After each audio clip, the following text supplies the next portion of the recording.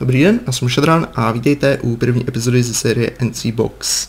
Já jsem si rovnou přiznal jako na začátek, že o tady tom serveru jsem se doslechl teprve nedávno, v okamžiku v podstatě, kdy byl vyhlášen na tady ten server nábor, kterého jsem se zúčastnil a štěstí mi přál, že jsem byl vybrán, takže jsem teď tady.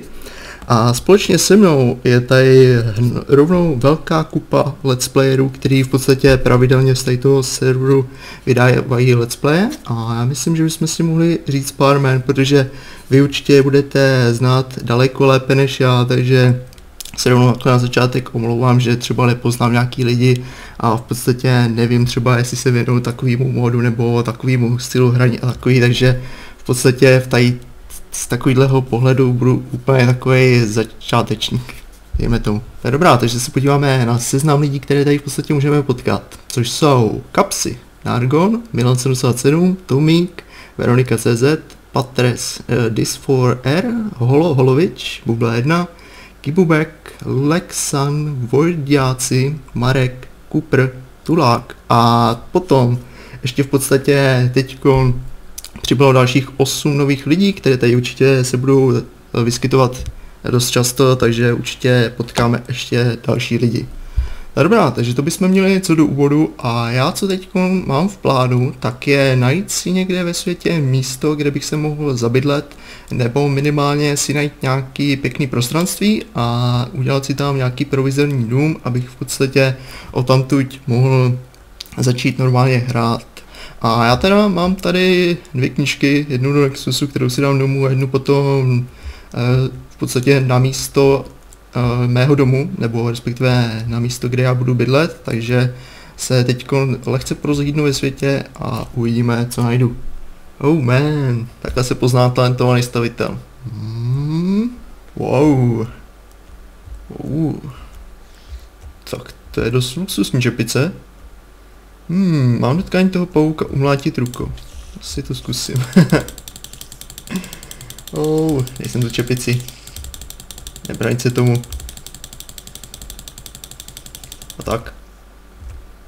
O, pojď si, pojď si. No, no, no. Nemůžeš, co?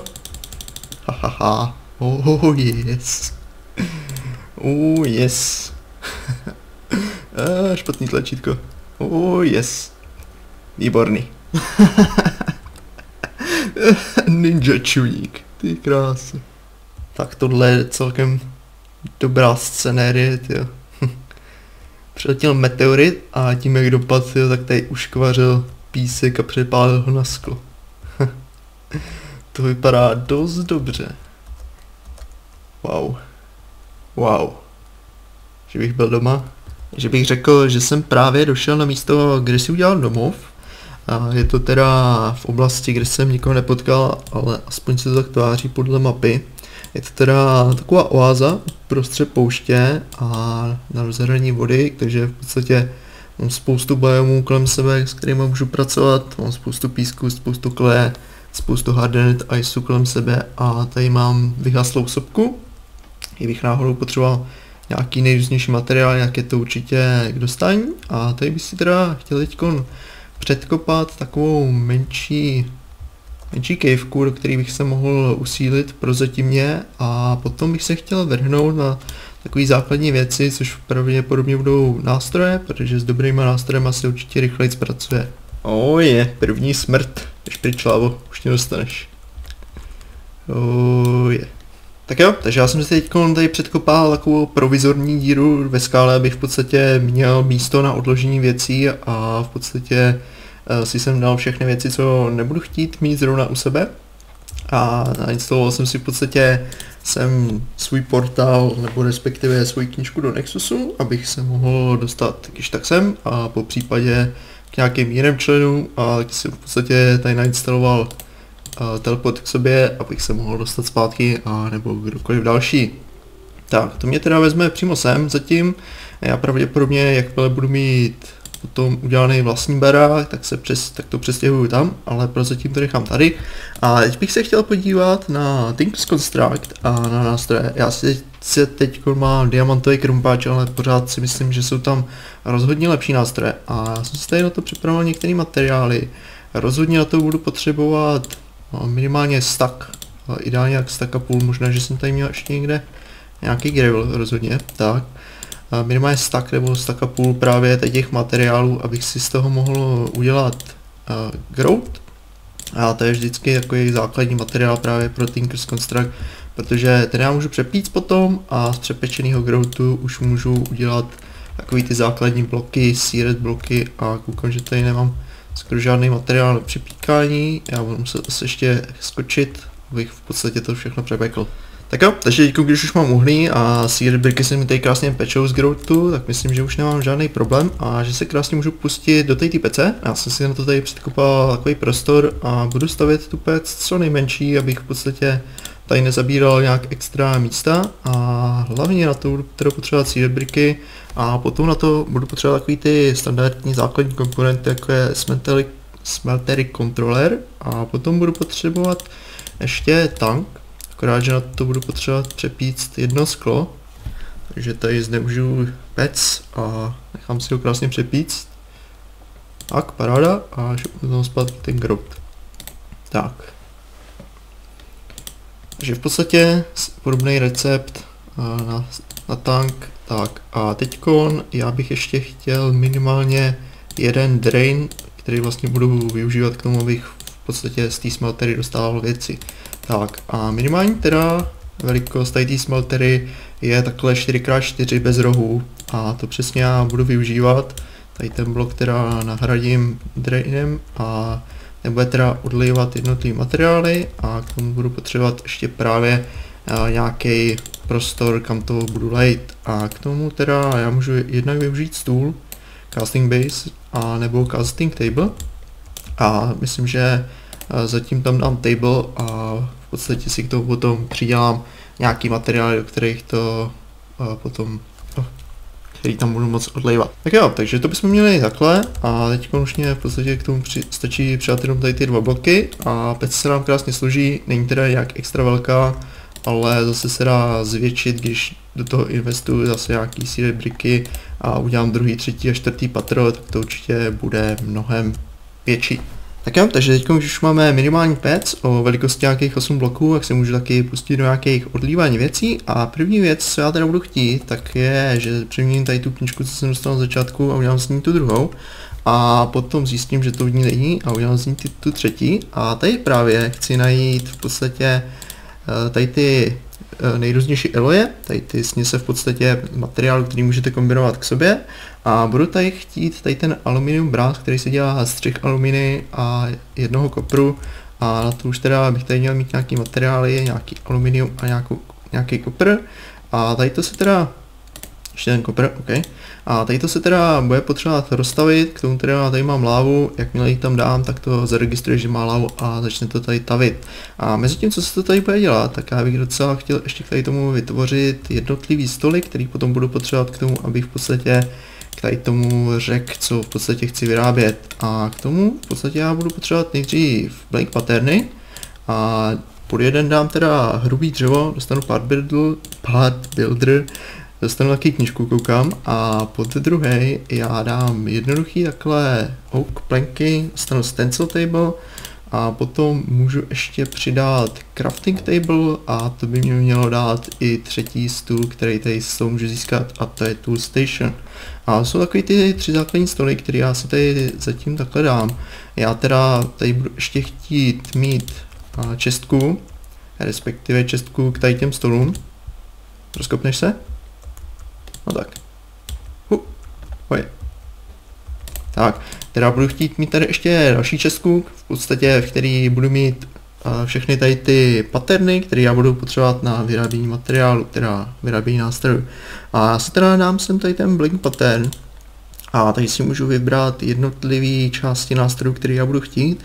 A co já teda budu vyrábět, tak je jednak, když budu chtít uh, obyčejný krumpáč, a potom budu chtít ještě další lepší nástroje, jeden z nich, který bude meč, ten bude základní, ale potom bych chtěl ještě kladivo z Tinker's Constructu, který kope 3x3 a to jsou takový ty tři nástroje, který bych chtěl mít takhle na začátku co nejlepší, abych v podstatě s tím mohl co nejvíc pracovat. Tak, jeden pattern na jedna čestka a mám z toho i tady tu pattern čestku, kterou v podstatě tady vložím mezi tady ty jednotlivé stoly.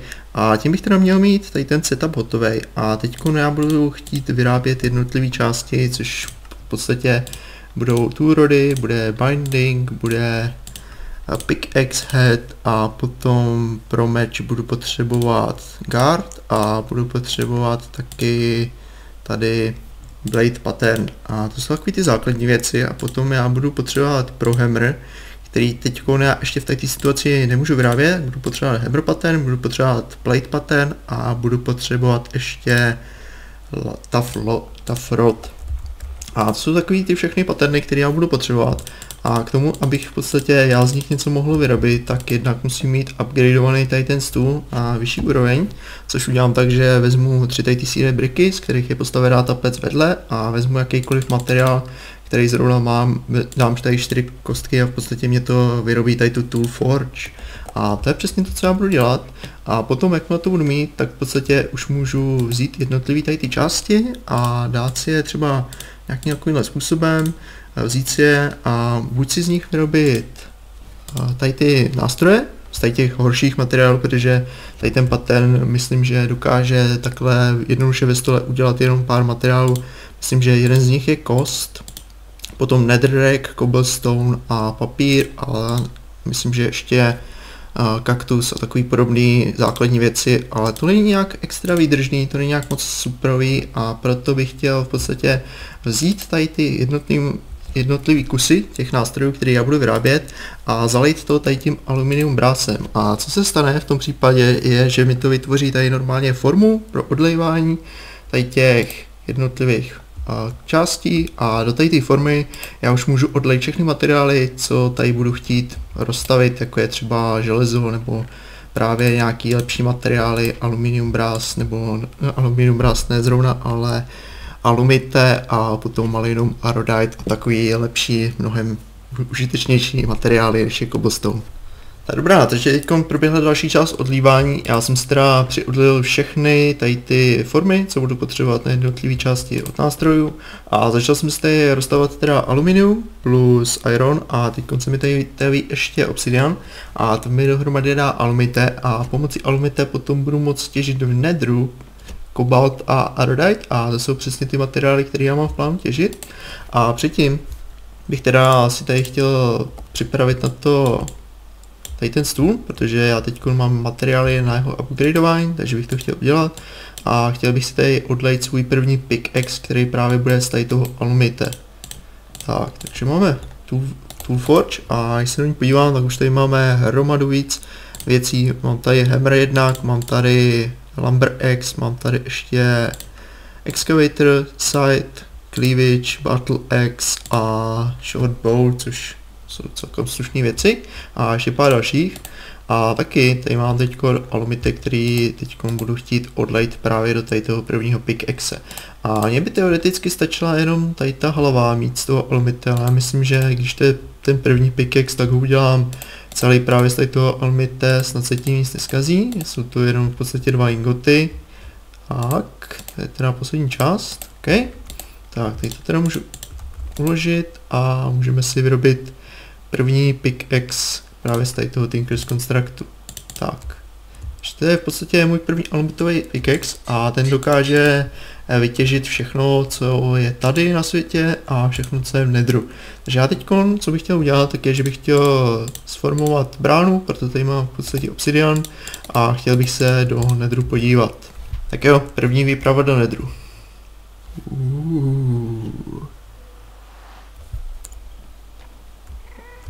Oh, je.